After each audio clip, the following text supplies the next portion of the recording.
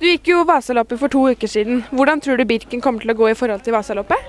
Eh, jeg håper på en litt bedre dag enn det var i Vasaloppet. Eh, jeg har jo gått Birken før, men det begynner å bli eh, ja, 10-15 år siden, så det blir spennende. Litt annet løp, så kanskje passer meg bedre. Hva synes du om din egen prestasjon, prestasjon under Vasaloppet? Ja, altså middels fornøyd. Hadde håpa på litt bedre, det hadde jeg. Hvordan blir det igjen å stå på start med Therese Johaug? Nei, det blir gøy, det. Det blir artig, det. Eh, så det blir spennende. Eh, å måle seg mot de, beste i langløpssirkuset, så det blir spennende å følge. Har dere noe taktikk i laget?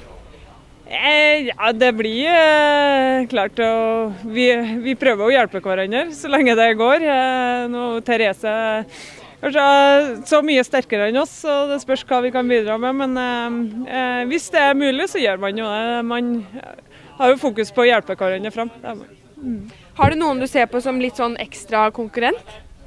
Eh, ja, eh, det er jo mange konkurrenter. Eh, jeg er nok ikke en av de eh, tøffeste som kjemper om pallen, men jeg håper jeg kan ut, være med å utfordre til å være, ja, til å være med og kjempe om, iallfall.